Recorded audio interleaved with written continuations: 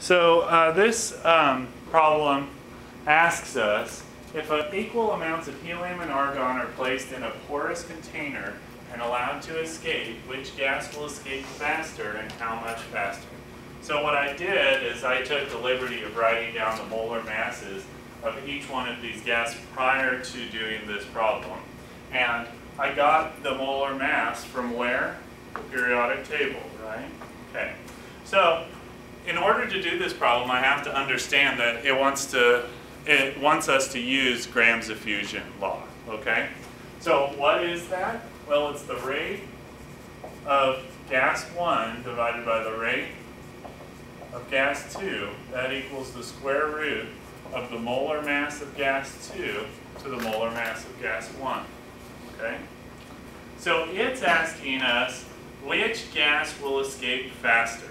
So that's the first question. Which gas would escape faster? Can we just look at these gases and know? Which one would it be? Helium. Why would you say that? It's much lighter. Its molar mass is smaller, right? Or if we're looking at its molecular weight, yeah, it's a much uh, less heavy molecule, right? Okay, so the other question, how much faster, is referring to what is this ratio here, right? So this to 1, okay? So in other words, let's rearrange this, or let's make this equation to say helium and argon here, okay?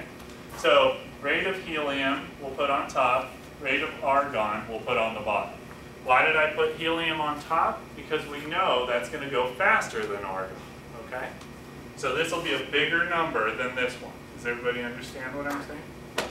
So this is going to be then argon, and this will be helium. Okay? So notice this problem didn't give us any rate information at all. It just asks us what, how many times faster is helium going to be. So what it's really looking for is, like I just said, this ratio here. Is everybody okay with that? So in other words, what we need to figure out is the molar mass of ar or the square root of the molar mass of argon divided by the molar mass of helium. What is that, and in this case it says how much faster. So um, we'll say, we'll just say that ratio, okay? Or we could say that was x or something like that. So, in order to do that, well, we just plug our values into this equation. So, 39.95 grams per mole divided by 4.00 grams per mole. And we'll use these numbers as significant figures, even though you usually don't from the periodic table. Since we don't have any other numbers, we'll just use these ones. Um, cancel out grams per mole, of course. Right? So when we do this, take 39.95 divided by 4, and then take the square root of that answer, and I get 3.16, okay, with no units, right?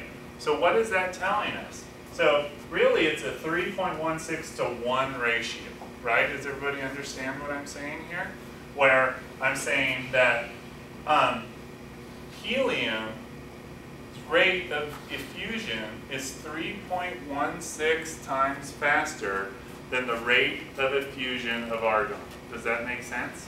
So if argon's rate is 1, whatever units we're using, helium's is going to be 3.16. Does that make sense? Okay. So this is the ratio of the rate of diffusion. And that gives us, like what this says, how many times faster. Does that make sense to everybody? Any questions on that? Okay. You sure? Questions? No questions?